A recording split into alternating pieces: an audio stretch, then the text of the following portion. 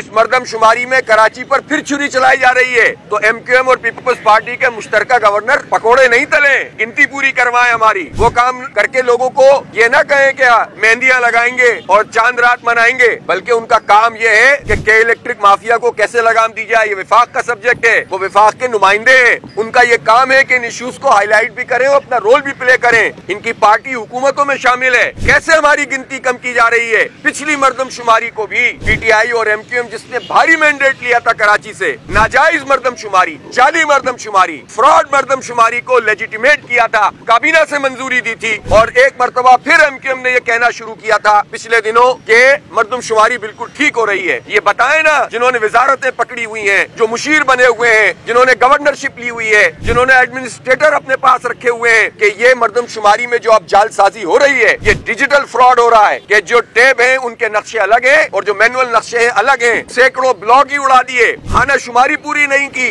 कोई पूछने वाला नहीं है लेकिन हुकूमत नहीं छोड़ेंगे